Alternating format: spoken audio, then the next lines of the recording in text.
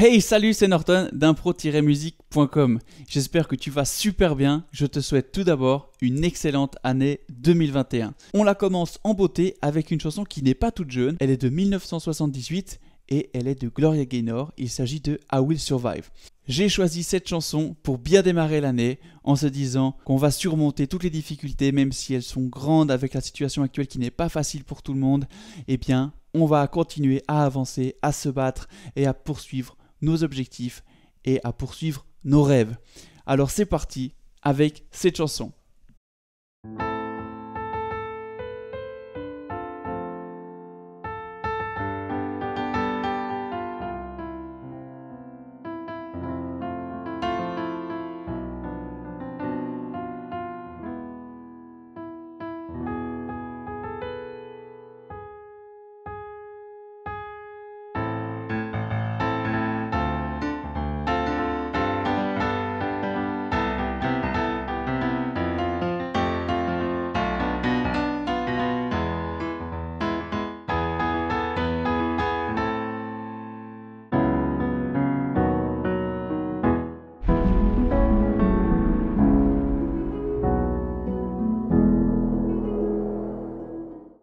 Alors cette chanson, eh bien, elle est synonyme d'espoir, elle est synonyme de d'avancer et de poursuivre notre route coûte que coûte.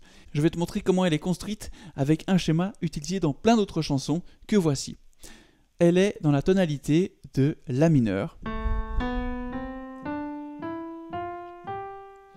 Et à la fin, on devra jouer le sol dièse qui est la sensible accidentelle, hein, parce qu'elle ne fait pas partie de l'armure, on voit qu'à l'armure il n'y a rien du tout. Mais à la fin on finit sur un sol dièse pour avoir un accord de dominante qui est majeur. Et on commence avec un accord de premier degré, la mineur.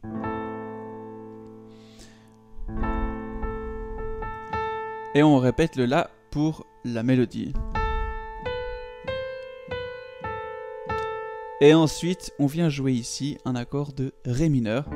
On peut même jouer un Ré mineur avec la septième sous le pouce. Puis, ici on vient jouer un Sol majeur. Qui va nous amener au relatif majeur, c'est-à-dire à la grande sœur, Do majeur, qu'on peut ici ajouter avec le pouce de Si bécard, qui va être la septième majeure de cet accord. Hein. mais on peut très bien faire aussi juste un Do comme ça.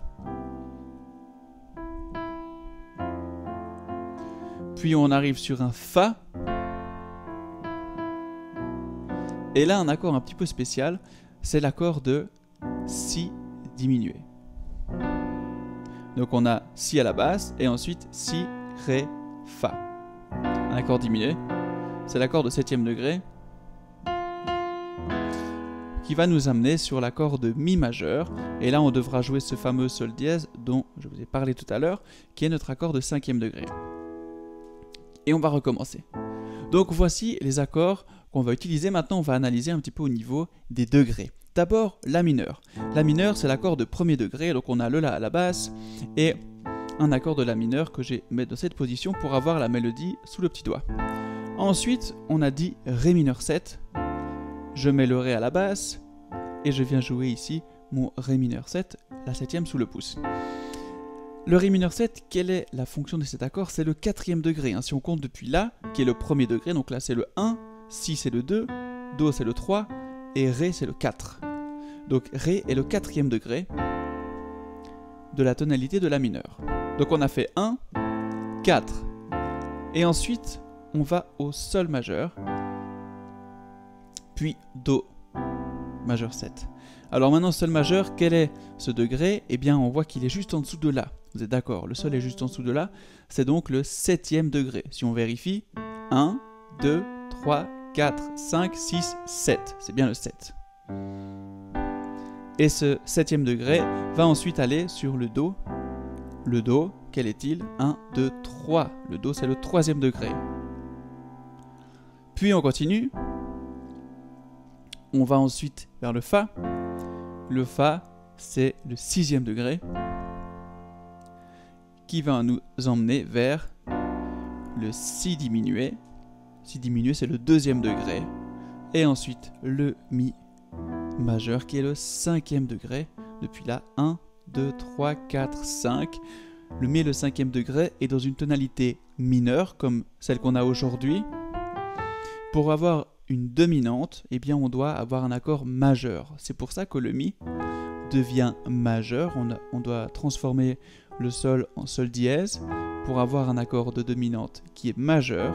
Et c'est pour ça que on a cette sensible, ici cette altération accidentelle, qui va nous permettre de retomber vers le La mineur, le premier degré. Si on analyse encore un degré plus loin, un cran plus loin, ce schéma, eh bien on se rend compte qu'on a le même écart entre les accords. Si on joue que les basses, on va commencer là, on a le La. Ensuite on a dit qu'on allait au quatrième degré. Si je vais vers le bas, je vais vers le Ré. Ici j'ai descendu de combien de notes? Depuis le La ça fait 1, 2, 3, 4, 5 sur le Ré. Ensuite depuis le Ré, je suis allé sur le Sol, le septième degré. 1, 2, 3, 4, 5. Ah tiens, c'est marrant, encore 5 pour aller jusqu'au Sol. Du Sol, je suis allé sur le Do, le troisième degré. Sol, 1, 2, 3, 4, 5, encore une quinte d'écart. Et depuis le Do, je suis allé sur le Fa, le, euh, Fa c'est le combienième degré, c'est le, le sixième degré. 1, 2, 3, 4, 5. Et depuis le Fa sur le Si, 1, 2, 3, 4, 5. Et depuis le Si, bon là je peux plus descendre, mais si je viens prendre le Si, 1, et bien 2, 3, 4, 5. Je vais sur le cinquième degré, le Mi, et du Mi vers le La. 1, 2, 3, 4, 5. Donc tout ça pour vous montrer qu'ici on a un schéma qui s'appelle chute de quinte. On descend à chaque fois de 5 notes, c'est-à-dire d'une quinte. Depuis le La, je descends d'une quinte. 1, 2, 3, 4, 5. Vous avez remarqué, il faut faire attention à une chose, c'est qu'on compte le 1. En musique, il n'y a pas de 0. Le La compte, c'est la première note, et ensuite si on descend, 1, 1, 2, 3, 4, 5. C'est-à-dire entre La et Ré, eh bien on a une quinte. Et on dit chute de quinte parce que c'est des quintes qui descendent. Parce que si je monte depuis le La, 1, 2, 3, 4. On se rend compte que pour aller au Ré, c'est une carte et non pas une quinte. Donc attention à ça, mais là, c'est facile à se souvenir. Chute de quinte, on descend de quinte en quinte.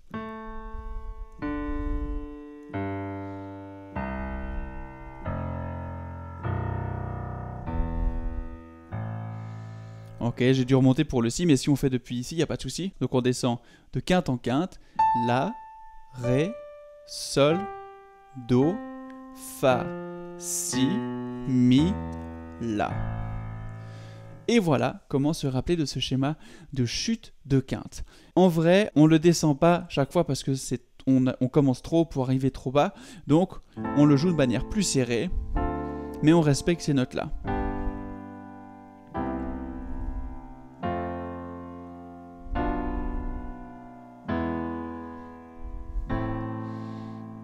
Donc voici ce schéma des chutes de quinte qui est très utilisé. Maintenant, au niveau de la chanson, eh bien, on suit ce schéma tout au long du morceau et on commence plutôt calmement. On peut juste plaquer l'accord.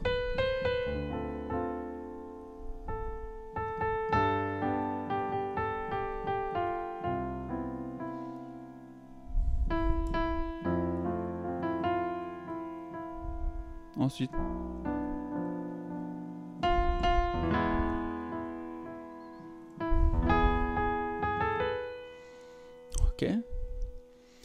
Et depuis là, on va pouvoir mettre plus de rythme.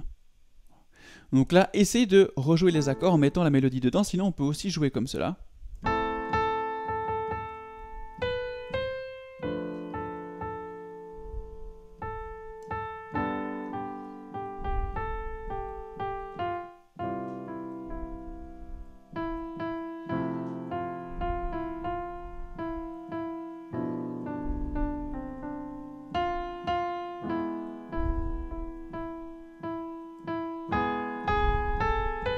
Et après, on peut aller de manière un peu plus rythmée, par exemple comme ceci, en mettant des octaves à la main gauche, bien dans le grave pour avoir un son bien présent, comme si c'est la base de l'orchestre. Et ici, jouer la mélodie avec les accords.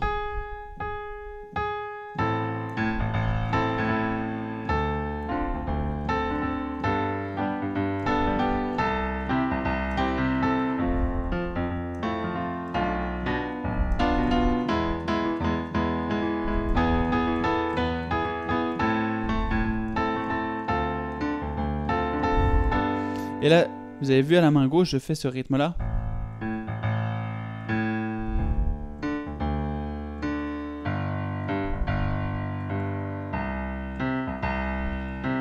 Donc en fait, je joue sur le premier temps et je joue sur la dernière double croche du temps. Donc c'est même après le et. 1 et 2 et 3 et 4 et 1 et 2 et 3 et 4. 1 et 2 et 3 et 4. D'accord? Donc je joue vraiment très tard, qui n'est pas forcément facile au niveau de l'indépendance des mains, mais qui est un bon exercice. Et vous pouvez commencer à entraîner ça.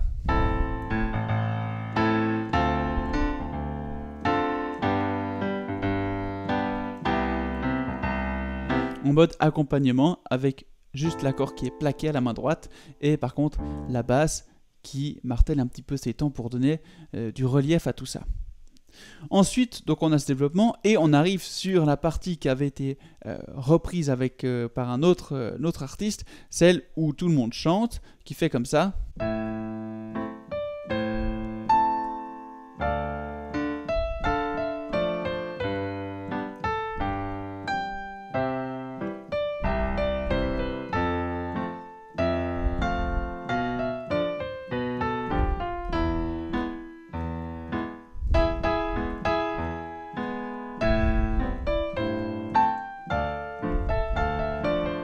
Et on peut accélérer. On peut accélérer ça pour donner plus d'entrain à tout ça et c'est assez sympa. Donc là, on commence sur un Mi et on a les mêmes accords. Et ensuite, on vient toujours sur le Ré. Sur le Sol. Sur le Do.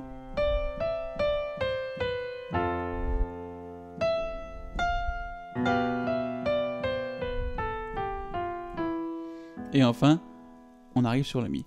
Donc là, on voit que le schéma de la mélodie se répète aussi. On descend.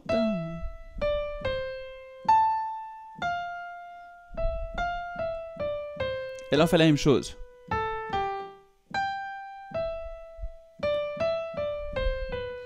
Donc là, vous voyez, c'est vraiment le même schéma mélodie qui se répète, mais sur les nouvelles harmonies. Et là, à la fin, ça change. À la fin, ça change. Là, on fait juste le Mi sur le Fa et on descend une gamme complète. Et là, on joue avec l'octave. Ok. Et pour la main gauche, on peut faire une pompe avec dans une base très grave.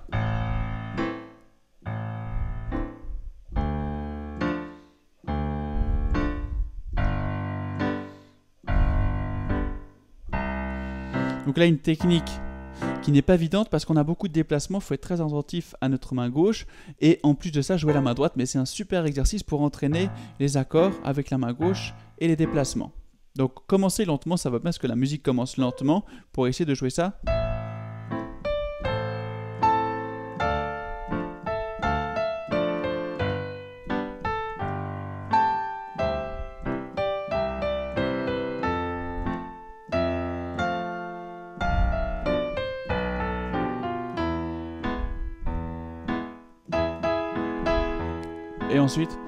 Enchaîner avec tout ça. Donc je vous laisse vous amuser avec cette chanson qui est vraiment sympa à jouer au piano, pour mettre l'ambiance aussi avec les amis, pour chanter à plusieurs, pour jouer en groupe et surtout pour bien débuter l'année. Je vous souhaite encore et une dernière fois une super année 2021 remplie de bonheur et surtout que vous puissiez atteindre vos rêves et vos objectifs, en tout cas en musique et j'espère avec moi. Je vous dis à la semaine prochaine pour la prochaine vidéo. Bye bye tout le monde, c'était Norton. Ciao